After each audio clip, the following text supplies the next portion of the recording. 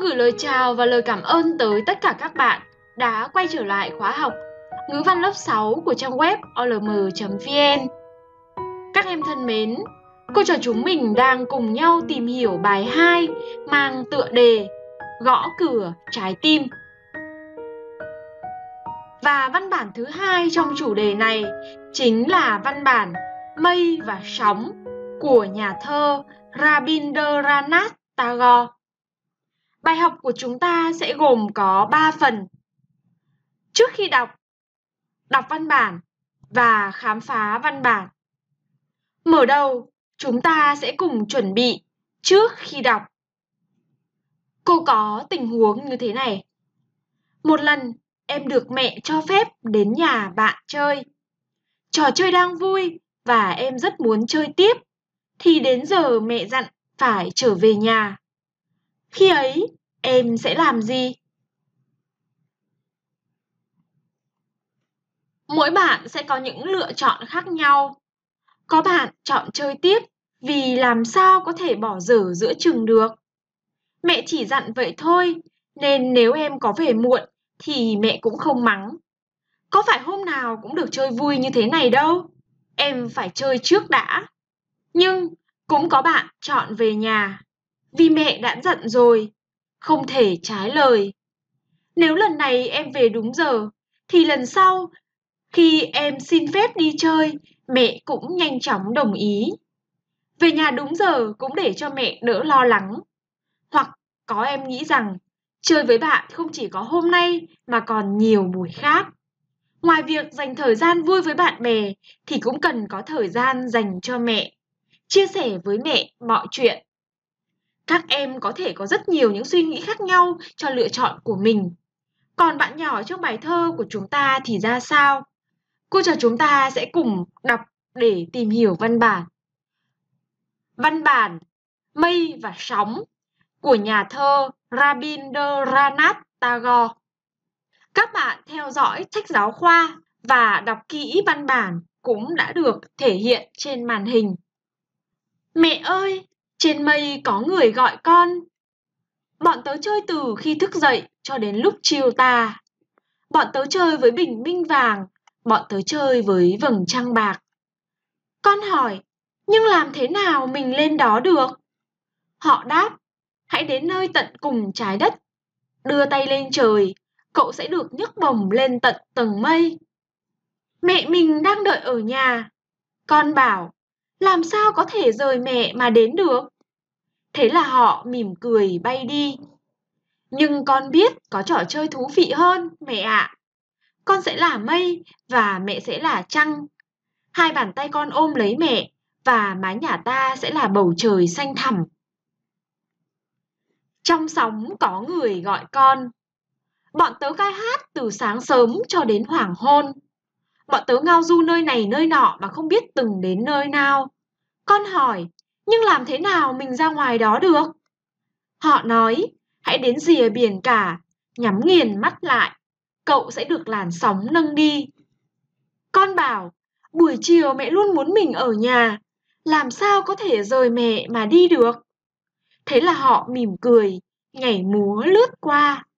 Nhưng con biết có trò chơi khác hay hơn. Con là sóng và mẹ sẽ là bến bờ kỳ lạ. Con lăn, lăn mãi rồi sẽ cười vang vỡ tan vào lòng mẹ. Và không ai trên thế gian này biết mẹ con ta ở chốn nào. Bài thơ do Nguyễn Khắc Phi dịch. Đã đọc được hết văn bản Mây và Sóng.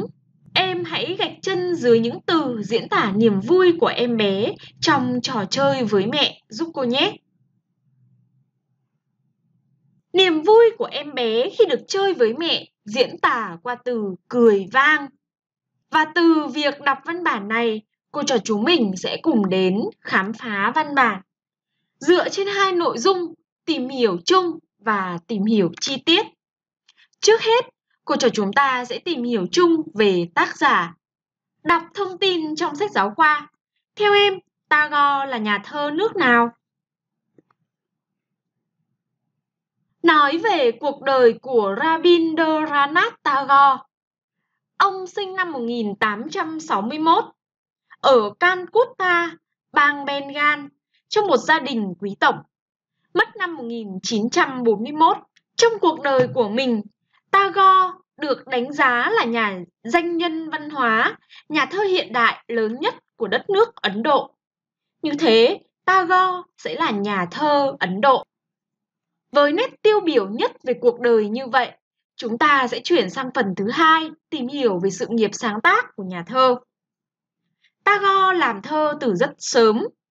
Ông để lại một sự nghiệp gia tài đồ sộ với 52 tập thơ, 42 vở kịch, 12 bộ tiểu thuyết, khoảng 100 truyện ngắn, rất nhiều bút ký, luận văn, diễn văn, thư tín, trên 1.500 bức họa và một số lượng ca khúc cực lớn. Trong đó, nổi tiếng nhất là các tác phẩm thơ ca. Các tập thơ tiêu biểu của Tagore gồm Thơ dâng, Người làm vườn, Những con chim bay lạc và Mùa hái quả. Với những tác phẩm thơ này, nội dung của các tác phẩm thơ chính là tình yêu nước, tình yêu con người và tình yêu cuộc sống. Những tình cảm này sẽ được thể hiện trong một nghệ thuật độc đáo thông qua các hình ảnh tưởng tượng huyền ảo, lay động lòng người.